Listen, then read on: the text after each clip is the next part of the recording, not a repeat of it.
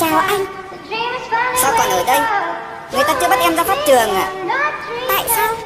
Bởi vì xinh đẹp là một tội Đúng vậy, em đẹp nhất trên thế gian này. Gặp em vào thời điểm anh đang chấm tay trả lẽ. Chỉ riêng ta không may mắn vậy Muốn ông chẳng lấy em nhưng tiếc là em không gian tay Yêu em là trọng tội anh sẵn sàng ra pháp trường. Và thanh ca không gọi tên anh trong lễ đường. Bao tâm sự không còn là lời rap thường Như hai đường thẳng cắt dâu rồi mày rẽ hướng. Nên đừng tiếc cho những chuyện mà ta từng biết Rừng biết. Cái câu cây và hoa cành lá từng chiếc Những việc trước giờ làm đã trải người hỡi người ơi ngừng biết. Thôi là cái tôi mà ta từng viết thiệt. Dạy kiệt thanh khiết tâm hồn nhau gượng ép từ giác viết rap tiếp cử tuyệt kỷ niệm ngày đó. Hôm nay đành phải chôn sâu. Không có em nơi trái đất này sẽ ngừng quay. Rồi ta lẻ bóng với con đường này thường ngày đứng dậy ghế để ai nắm tay lạc là bây giờ biết bao nhiêu những năm tháng bình thường ấy. Thương thầy vậy mà dưới con và thương mày xương dày phụ ông đời người mày đương thấy. Sau ngày nào tao tình với con gượng vậy mà giờ cho còn phân biệt không đâu mày hướng tay. Sống và chết đi theo một quy luật ta biết chăn trối gì đến khi mất cuộc đời này phí. Tôi còn bao nhiêu điều bí mật tương dẫn để xấu xí nhưng ta không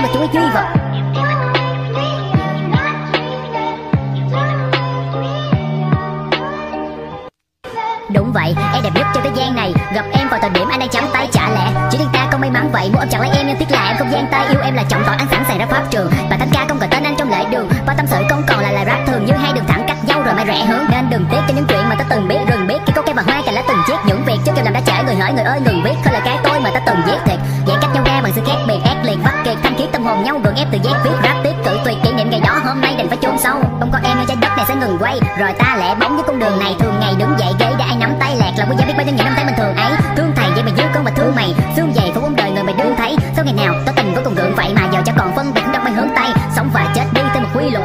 Ta biết chăn trối gì đến khi mất cuộc đời này phí. Tôi còn bao nhiêu điều bí mật tương dẫn để xấu xí